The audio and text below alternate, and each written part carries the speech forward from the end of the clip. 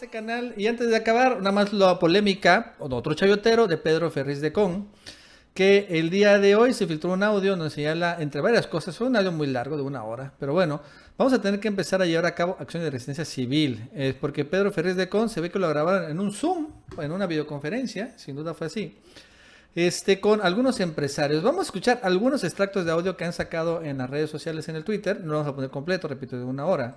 Pero bueno, de las cosas interesantes fue esto. Vamos a escuchar. Bueno, primero este. Oye, Pedrete, te agradezco mucho tu tiempo. Sé que estabas este, hasta el copete ahorita lleno de reuniones.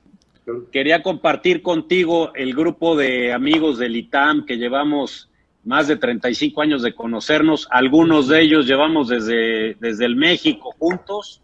Y bueno, te presento rápidamente. No estamos todos porque por algunas razones algunos no se han podido conectar pero está Carlos Chavero, está Carlos Sánchez, Eduardo de la Fuente desde Miami, Gustavo de la Serna, Jorge Alegría, Javier de Uriarte, José Tena y tu servidor.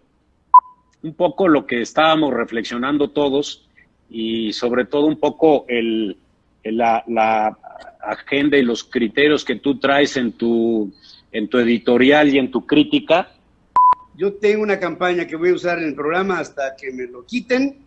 No tenemos presidente, no hay gobierno, no tenemos presidente. Y pienso, y aquí está la parte más delicada, pienso que si queremos realmente que el país tome otro rumbo, vamos a tener que entrar en una zona que nunca habíamos entrado, y es una zona de riesgo. Para que cambien las cosas, vamos a tener que arriesgar.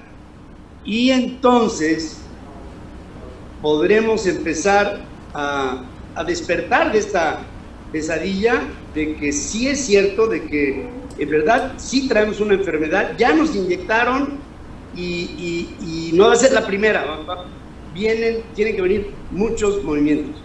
Pero lo que yo he notado es, Pedro, qué barbaridad, está horrible, ¿qué hacemos? Qué barbaridad, es inaguantable, estoy muy preocupado, pero pues no hay más y creo que sí vamos a tener en algún momento que romper, va a pasar, vamos a tener que romper, si es que este hombre sigue en esta condición, vamos a tener que empezar a, a, a, a llevar a cabo acciones de resistencia civil.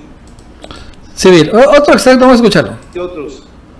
Eh, se está cocinando que el, el propio gobernador de Jalisco se va a levantar y va a decir, Bajo estas condiciones, el occidente no tiene un plan de recuperación y desconozco al presidente de México. Si empieza a venir esto, se va a dar una, una, una tendencia de efecto dominó y entonces podremos empezar y hay dos posibilidades. Una que reaccionemos, otra que reaccionen los gringos y otra que lo hagamos al mismo tiempo. Es, lo que quiere decir.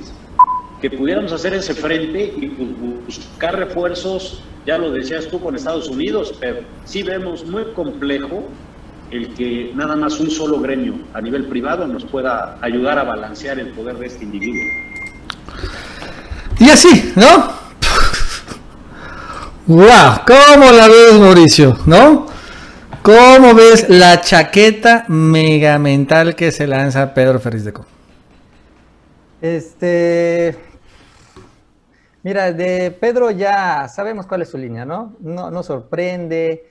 Ya sabíamos que todos estos están amafiados, que hay una estrategia de golpe blando, que la están financiando, que estos empresarios financian a esos espacios, que los gobernadores también lo hacen. Entonces, Aquí lo que pues te ayuda es cuando menos a, entender mejor esa lógica, ¿no? Esa dinámica, cómo trabajan estos empresarios opositores, cómo estos empresarios opositores tienen sus negocios abiertos, lo que decíamos, ¿no? En Jalisco, pues tienen los negocios abiertos.